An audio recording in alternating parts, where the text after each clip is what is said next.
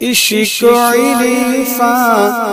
کی دولت رشیدی میں ہماری سوچ اتنی کیوں گر گئی ہے؟ ہماری فکر اتنی کیوں گر گئی ہے؟ ہم اس قوم مسلم سے تعلق رکھتے ہیں۔ جس قوم مسلم میں اللہ نے بڑے بڑے ولی کو بھیجا ہے بڑی بڑی ہستیوں کو بھیجا ہے بڑی بڑی شخصیتوں کو بھیجا ہے۔ ہم اس قوم مسلم سے تعلق رکھتے ہیں۔ جس قوم مسلم کے ولی نے ایک آیا تھا تو وہ ٹھیلا سونے میں تبدیل ہو گیا تھا۔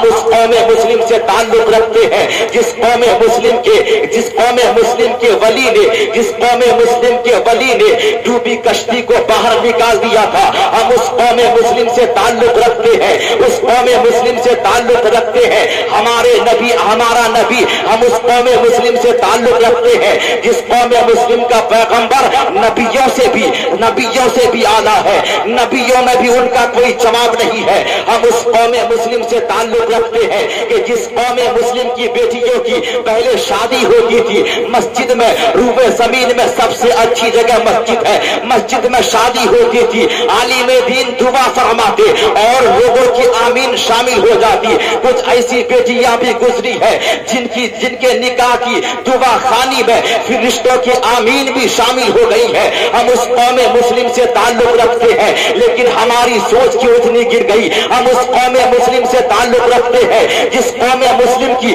پہلی عورت ہے، سالن میں اس لیے زیادہ پانی ڈال دیتی تھی کہ اگر کسی کے ہاں سالن نہیں بنا ہوگا، وہ میرے ہاں سے سالن لے کے جائے گا اور اپنا پیٹ بھر لے گا۔ ہم ہم اسی قوم مسلم سے تعلق رکھتے ہیں، لیکن ہماری سوچ اتنی کیوں گر گئی؟ ہماری فکر اتنی کیوں گر گئی؟ ہم ایک مرغی کے لیے کیوں لڑتے ہیں؟ ہم ایک مرغی کے بچے کے لیے اپنے آپس میں کیوں جھگڑتے ہیں؟ ہماری سوچ اتنی کیوں گر گئی؟ آج ہم ہماری بیٹیوں کی شادی ایسی ہوتی ہے، تماشا بن کے رہ جاتا ہے۔ آج ہماری بیٹیاں غیر مذہب لڑکوں کے ساتھ کیوں جاتی ہے۔ آج ہماری لڑکیاں کچہری میں کیوں نظر آتی ہے؟ آج ہماری بیٹیاں فیس بک کی زینت کیوں بنتی ہے؟ اے پیارے، اس کی وجہ کیا ہے؟ کبھی آپ نے غور کیا؟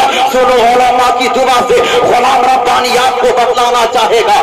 آخر ہماری حالت یہ کیوں ہو گئی؟ ہماری سوچ ایسی کیوں ہو گئی؟ ہماری فکر ایسی کیوں ہو گئی؟ آج یہ برائیاں کیوں ہو رہی ہے؟ آج ہماری بیٹیاں غیر مذہب لڑکوں کے ساتھ بھاگ کے کیوں چلی جاتی ہے؟ اپنے اپنے باپ کا، اپنے باپ کی عزت کا خیال نہیں، سماج کی عزت کا خیال نہیں۔ آخر یہ کیا ہے؟ آخر ایسا کیوں ہو رہا ہے؟ تو سنو پیارے، غلطی ہماری ہے، یہ ہماری ذمہ داری ہے۔ ہم نے اپنی بیٹی کے ہاتھ میں قلم نہیں دیا۔ ہم نے اپنی بیٹی کے ہاتھ میں سیرت کی کوئی کتاب نہیں دی، بلکہ قلم دینے کی جگہ ہم نے اپنی بیٹی کے ہاتھ میں موبائل تھما دیا۔ اب ٹائم پاس کے لیے کچھ تو کرنا پڑے گا۔ چلو رونگ نمبر پہ بات کیا جائے اب غلط محبت ہو جاتی ہے لڑکیاں ہماری بھاگ جاتی ہے اے پیارے یہ ساری برائیاں ان ساری برائیوں کی وجہ علم ہے علم نہ ہونے کی وجہ سے یہ ساری برائیاں ہو رہی ہے تعلیم نہ ہونے کی وجہ سے یہ ساری برائیاں ہو رہی ہے یہ پیارے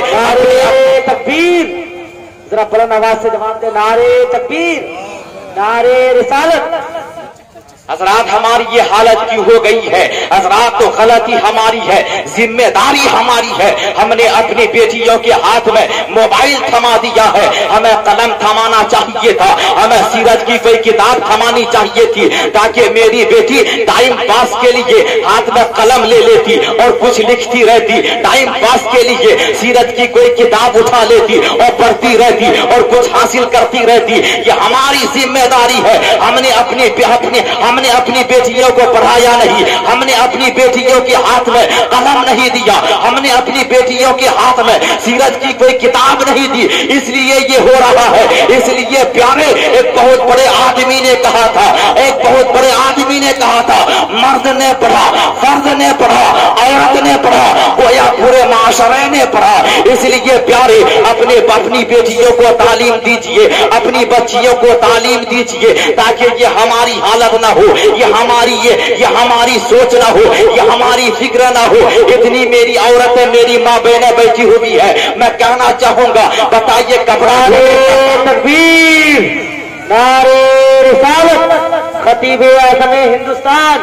اسلامی اسکالر، حضرت علامہ مفتی صادر رضا محب القادری، حضرت شاعر اسلام اسل جمالی صاحب روٹا نعرے تکبیر حضرات، ہماری جماعت کا ایک قداور خطیب خطیب اہل سنت،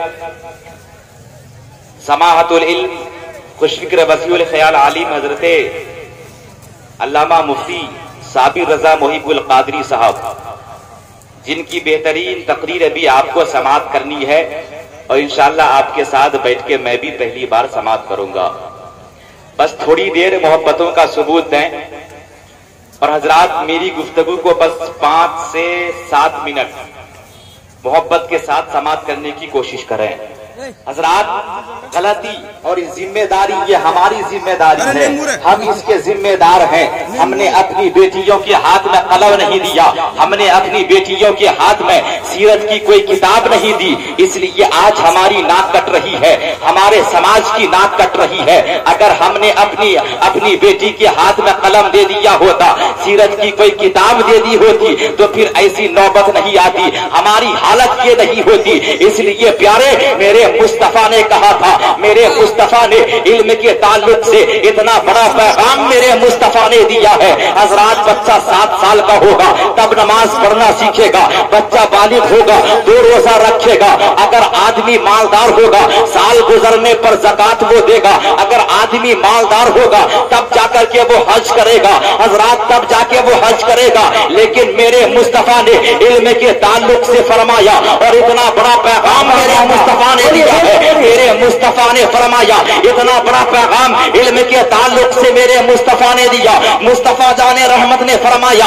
اطلب العلم من الماد الى اللہ یعنی علم دین حاصل کرو، ماں کی گود سے لے کر قبر کی منزل تک قبر کی گود تک علم دین حاصل کرتے رہو۔ ماں کے پیٹ سے لے کر قبر کی گود تک ہر مسلمان مرد پہ بھی فرض ہو جائے گا اور عورتوں پہ بھی فرض ہو جائے گا۔ اس لیے پیارے، اپنی بچیوں کو علم دیجیے، اپنے بچوں کو علم سے آراستہ کیجیے۔ آج علم نہیں ہے، اس لیے یہ برائیاں ہو رہی ہے آج ہماری اور ہماری ماں بہنیں اتنی بیٹھی ہوئی ہے کپڑا دھونے کا کام ان کا ہے۔ ذرا پوچھئے کسی سے، کسی کو طہارت کے مسائل یاد نہیں ہوں گے۔ حضرات جب وہ چولہے پہ چاول چڑھاتی ہے، ہانڈی پہ جب وہ چاول رکھتی ہے، میں نے کئی عورتوں کو دیکھا ہے، وہ ہانڈی کو چومتی ہے۔ اور ارے یہ ہانڈی کو چومنے کا مطلب کیا ہے؟ یہ کیا مسئلہ ہے؟ ہاں میں نے یہ پڑھا ہے کہ کوئی بھی کام کرو تو بسم اللہ پڑھ کے کرو، بسم اللہ پڑھ کے کرو کہ برکت ہوتی ہے۔ لیکن یہ چومنے کا مسئلہ کہاں سے آیا؟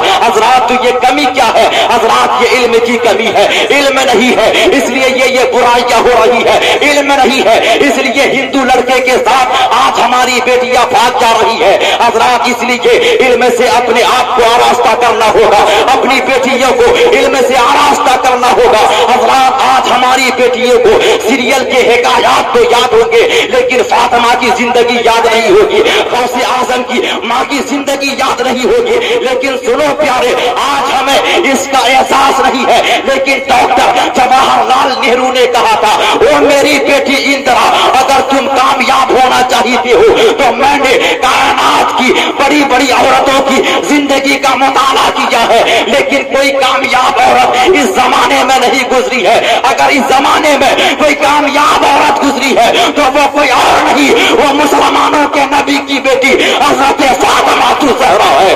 حضرت فاطمہ تو زہرا کی زندگی ہے۔ نعرے تکبیر، نعرے رسالت، مسلک اعلی حضرت، تعلیمات اعلی حضرت حضرت علامہ مفتی غلام ربانی اشہر زندہ باد۔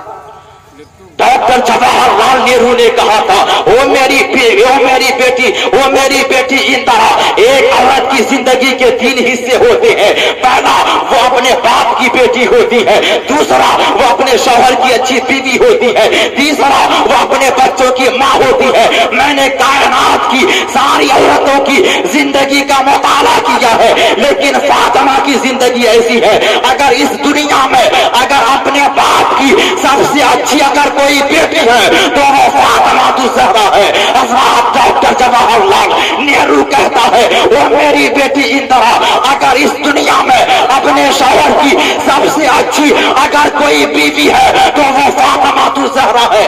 اس دنیا میں اپنے بچوں کی اگر سب سے اچھی کوئی ماں ہے، تو وہ کوئی اور نہیں۔ وہ فاطمہ تو زہرا ہے۔ وہ حضرت فاطمہ کی زندگی ہے۔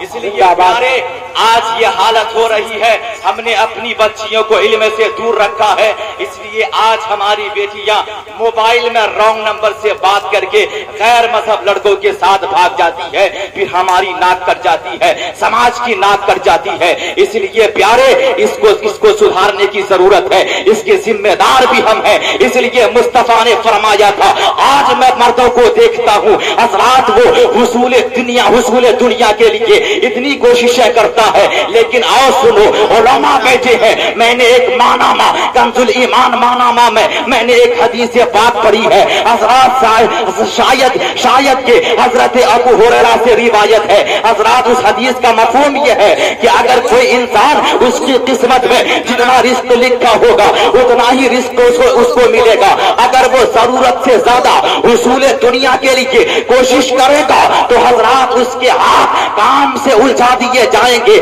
وہ پریشان ہو جائے گا، لیکن حاصل ہونے والا کچھ نہیں ہے۔ میں نے یہ دیکھا ہے، مجھے اس کا تجربہ بھی ہے، اس لیے میں نے دیکھا، ایک آدمی ہے، پورا دن وہ کھیت میں گھسٹتا رہتا ہے، اپنے بچوں کو بھی گھسٹتا ہے، اپنی بیوی کو بھی گھسٹتا ہے۔ لیکن میں نے دیکھا ہے، حضرات آج تک جیسا اس کا مکان تھا، ویسا اس کا مکان ہے۔ کوئی تبدیلی نہیں آئی، نہ وہ گاڑی خرید پایا، نہ وہ مکان بنا پایا۔ حضرات وجہ کیا ہے؟ اس لیے حدیث کا مفہوم سامنے ہے۔ بالکل سمجھ میں آتا ہے۔ قسمت میں قسمت میں جتنا رزق لکھا ہے، اتنا ہی ملے گا۔ چاہے تم کچھ بھی کر لو، اگر تم زیادہ حاصل کرنا چاہو گے، تمہارے ہاتھ کام الجھا دیے جائیں گے۔ تم پریشان ہو جاؤ گے، لیکن حاصل ہونے والا کچھ نہیں ہے۔ اس لیے پیارے، ہماری پہلی کوشش ہو تو نماز کے لیے ہماری پہلی کوشش ہو۔ وضو کے مسائل کے لیے ہماری پہلی کوشش ہو طہارت کے مسائل کے لیے ہماری پہلی کوشش ہو، اپنی زندگی کو مسجد کے حوالے کرنے کے لیے ہماری پہلی کوشش ہو، اذان کے لیے ہماری پہلی کوشش ہو، نماز کے لیے دنیا کے لیے کوشش نہیں ہو، بلکہ پہلی کوشش ہو، نماز کے لیے پہلی کوشش ہو، بچوں کی تعلیم کے لیے پہلی کوشش ہو، بچیوں کی تعلیم کے لیے۔ اس لیے میرے مصطفیٰ نے فرمایا، اگر روٹی کی بھوک ہو ایک روٹی کھاؤ اور پانی سے کام چلا لو اور ایک روٹی کا پیسہ بچا کر اپنے بچوں کو تعلیم دو، اپنی بچیوں کو تعلیم سے آراز نہ کرو۔ وہ میرے پیارے، جس دن ہمارا سماج تعلیم سے بھر جائے گا، یہ ساری برائیاں ختم ہوتی چلی جائے گی۔ نیکیوں کی تعداد میں اضافہ ہوگا چلا جائے گا۔ نیکیوں کی تعداد میں اضافہ ہوتا چلا جائے گا۔ اتنا وقت نہیں ہے۔ مولانا میراج صاحب نے مجھے جو موضوع دیا تھا، میں کافی ممنون و مشکور ہوں۔ میں بہت خوش ہوا تھا۔ بہت اچھا موضوع مجھے دیا گیا تھا۔ حضرات، ہماری سوچ اتنی کیوں گر گئی؟ ہماری فکر اتنی کیوں گر گئی؟ آخر یہ حالت ہماری کیوں ہو گئی؟ حضرات، اس پر بحث کرنے کے لیے کافی ٹائم چاہیے اور میں تیاری بھی کر کے آیا تھا۔ لیکن چونکہ مجھ سے بڑے خطیب حضرت مولانا مفتی صاحب صابر رضا محب القادری صاحب تشریف لا چکے ہیں۔ آسمان خطابت پر جب سورج طلوع ہو جائے تو پھر ستارے کو چمکنے کی اجازت نہیں ہوتی۔ میں اپنی گفتگو کو یہ ختم کرتا ہوں۔ میرے بولنے میں کسی بھی قسم کی غلطی ہوئی ہو، میں توبہ کرتا ہوں۔ استغفر اللہ تعالی ربی من کل ذنبی واتوب علیہ حق لا الہ الا اللہ محمد رسول اللہ۔ السلام علیکم۔